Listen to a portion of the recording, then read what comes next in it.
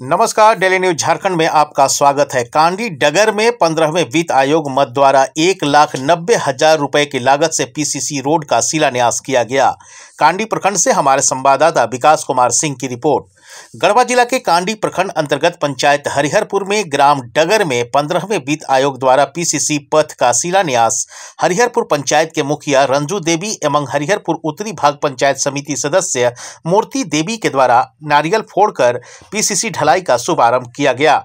यह रोड एक लाख नब्बे हज़ार रुपए की लागत से बनवाया गया है, जो सरजू राम के घर से हरिहरपुर मेन रोड तक लगभग 160 फीट तक बनाया गया। मौके पर उपस्थित बीजेपी संयोजक दिलीप सिंह, विधायक प्रतिनिधि संतोष सिंह, अनुसूचित मोर्चा मंडल अध्यक्ष दुर्गा राम, उप मुखिया संतोष सिंह, वीरेंद्र विश्वकर्मा, बसंत राम तथा कई अन्य ग्रामीण उपस्थित थे।